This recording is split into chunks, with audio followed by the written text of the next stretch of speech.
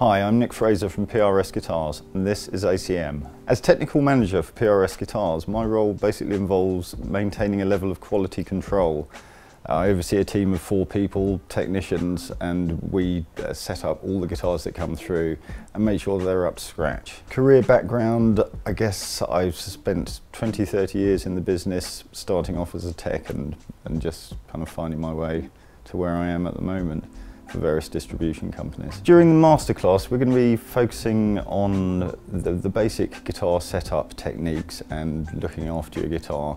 Mainly the truss rod, the nut, the action, fretting and a few kind of key care issues with guitars just to make them perform at their best. ACM, uh, it's fantastic. It's, it's, there's so much life and vitality here. It's quite kind of inspiring because when you've been in the business for a long, long time you tend to get a bit jaded and maybe, uh, but it's it's good to see so many people being creative in a great great atmosphere. Yeah, it's very impressive. The touch points in setting up a guitar. First of all, we start with the truss rod, uh, then move on to the nut, and then uh, we'll look at the action um, do an electrics check and a kind of visual check just to check that the, um, the finish is all okay. Um, those are the, the, the, key points. PRS stand out from the rest um, mainly in terms of uh, their consistent quality control. They're built to a fantastic standard um, and that way you get consistency across the, the tonal spectrum from one end of the neck to the other. All the notes are going to be spot on. Um, it's going to feel really comfortable in your hand and you can go from one model to the next and you know it's, it's going to be a trustworthy instrument and they're known for being rock solid at tuning as well.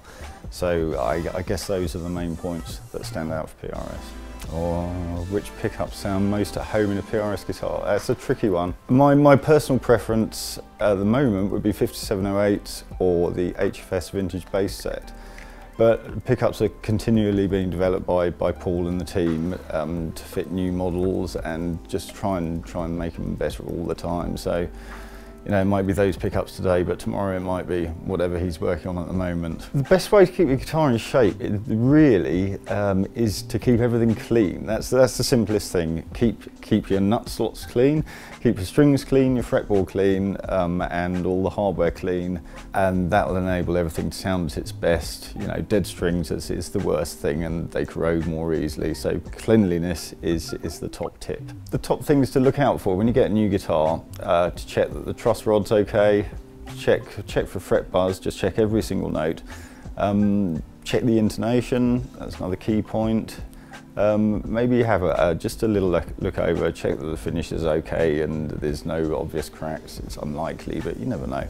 Um, check all the tuners are all functioning okay, all the electrics, um, and if all that's in order, just get on and play it. God, the worst guitar uh, we ever got sent back was probably one uh, where the neck had completely come off. Um, this guy met Paul at, at, some clinic he was doing and Paul had said, yeah, we'll fix that for free, like he kindly does. But actually what he meant was, yeah, the guys at, uh, in the UK, they'll fix that for free.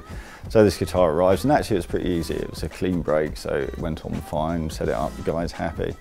But um, other, other ones that spring to mind in terms of bad condition was probably one that belonged to Dan Weller from SikTh, who brought his guitar in covered in blood and said, oh, sorry guys, got a bit carried away last night, can you sort it out? So we did, we always do.